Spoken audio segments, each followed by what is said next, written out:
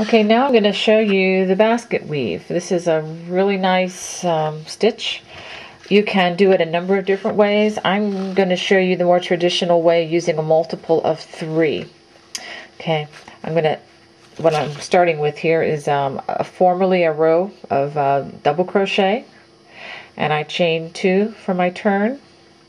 Um, make sure you don't chain three for this because the stitch will not be as high as it normally would be when you're using double crochet because we're going to be using front post double crochet and back post double crochet alternately um, rather than rather than you know going in the tops uh, of the the loops like this.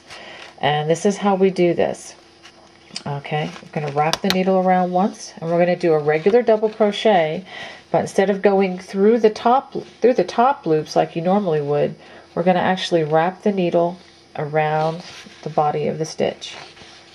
And we just finish our double crochet as we normally would. Notice I didn't work in the first stitch. You're going to need that for a border. Okay, we're going to do that two more times. Yarn over and bring the needle around the stitch. Complete the double crochet. Yarn over. Around the stitch. Complete the double crochet okay? Now the next three we're going to do are going to be called back post double crochet. Again wrap it around like you would for a double crochet. But instead of going in the front we're going to bring the needle around the back of the stitch through the front and pull the needle through this way and then complete the double crochet this is a little trickier it almost is something you can feel more than you can see when you're actually doing it.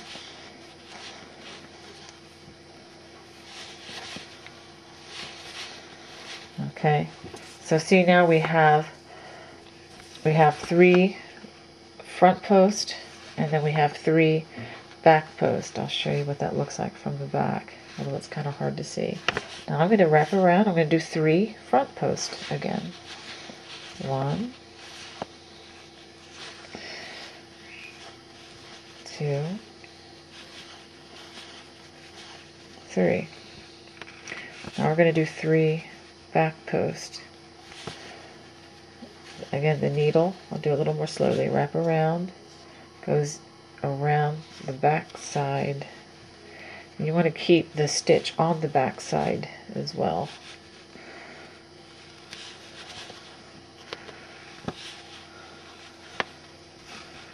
Now we're going to do three around the front side. Make sure that when you're doing this that you do keep track that you're doing these in multiples of three, especially the foundation row, which is what this is, because um, otherwise you can, again, lay a bad foundation and then you'd have to take that all out.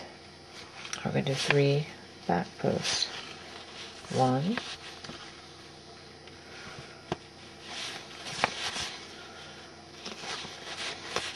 two.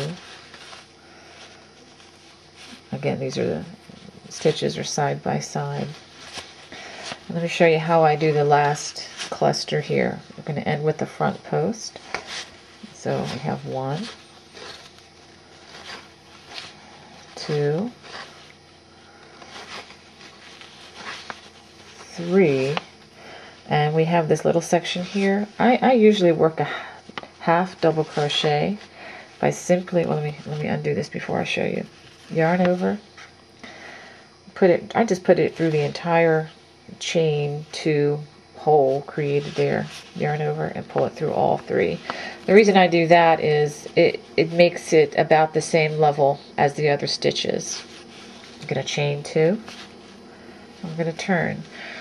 Now it looks a little different. We're going to follow the same pattern we just did. We're going to, uh, where you have uh, what is what now looks to be like uh, back post stitches. We're going to work back post double crochet around and then we're going to work front post double crochet around the front post. Let's go ahead and do that. And by this point, it is easier to see, it's easier to feel um, to help minimize mistakes. Now we're going to do three front post. One, two, three, and three back post.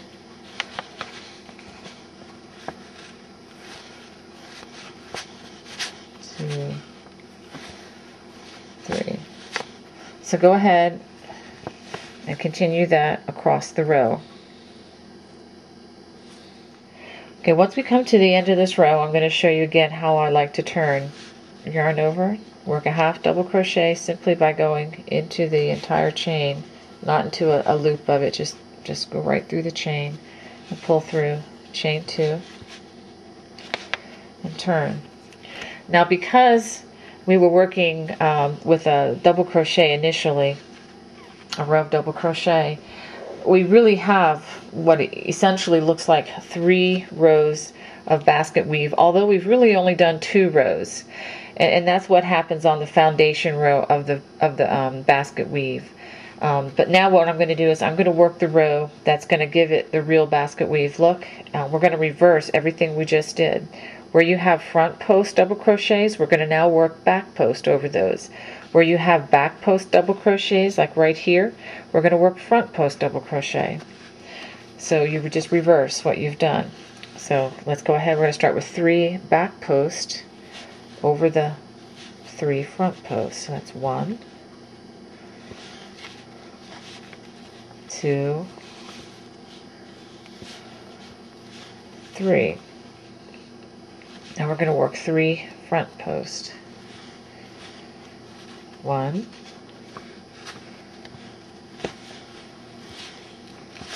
two, three. You can see it, it changing already. Now we have three front posts. We're going to work three back posts over those. One, two, three. Now we have three back posts. We're going to work three front posts. One, two, three, etc. And we'll work that across the row. Okay, now we've come to the end of our row again. Again, just a half double crochet through the chain. Chain two. Now you see the basket weave starting to come together here. Now we're going to work same stitches over the same stitches. We're going to work front post double crochet over front post, back post double crochet over back post. Let's go ahead and do that. One, two, three, front post, and we're going to work the back post. One, two, three. And then we have three front posts. We're going to work three front posts here. One, two, three. And now we have back posts. Let's go ahead and work some back post. One, two, three. And now let's try three more front posts. One, two, three. Okay, you would continue working in the pattern and you can see the, the woven effect that's created. One nice thing about this stitch is it doesn't really have a front side and a back side because the front side and the back side look the same. And essentially they are. Um, so there you have it, your basket weave.